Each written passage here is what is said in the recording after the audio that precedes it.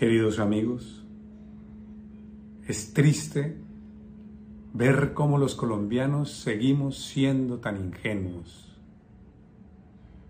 Desde que tengo mi derecho al voto lo he ejercido como todos ustedes, buscando un supuesto cambio que nunca se ha dado en 10 periodos presidenciales.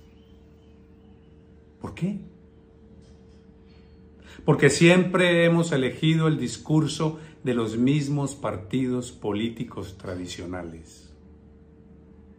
En cada ocasión ellos han alegado ser el cambio definitivo, ser la solución a la corrupción, a la desigualdad, ya sean los conservadores, los liberales, o los del centro, o los del centro derecha. Lo cierto es que desde hace 36 años que he obtenido mi derecho a elegir democráticamente, lo único que he visto es cómo paso a paso este país va cayendo al abismo, cómo día a día estamos cada vez más jodidos.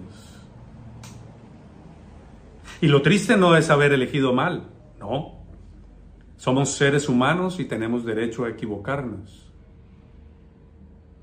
Lo triste es el error de haber elegido una y otra vez los mismos intereses de poder con diferente cara o nombre de partido político.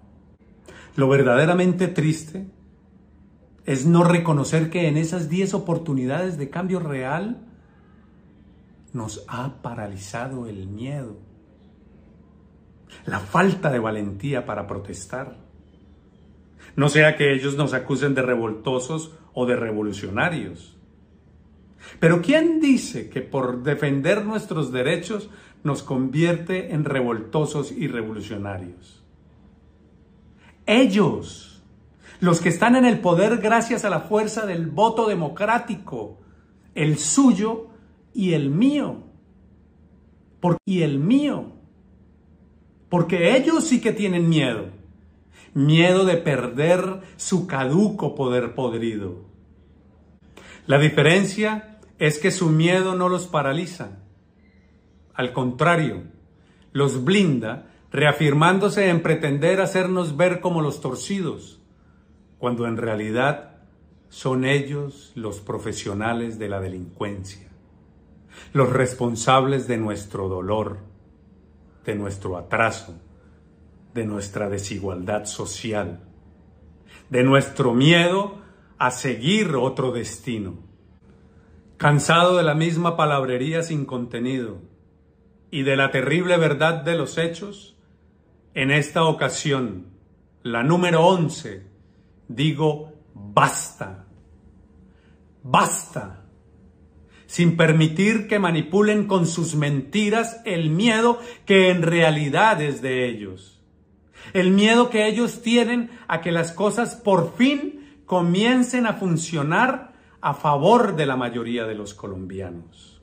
Así que esta vez mi voto va por el pacto histórico, porque representa un cambio radical de lo que en estos 36 años ha habido. Me permito o permitámonos superar de una vez por todas el miedo atávico que nos paraliza miedo que solo promete dolor, mentira y desilusión. Por una Colombia justa, mi voto es el pacto histórico. Muchas gracias.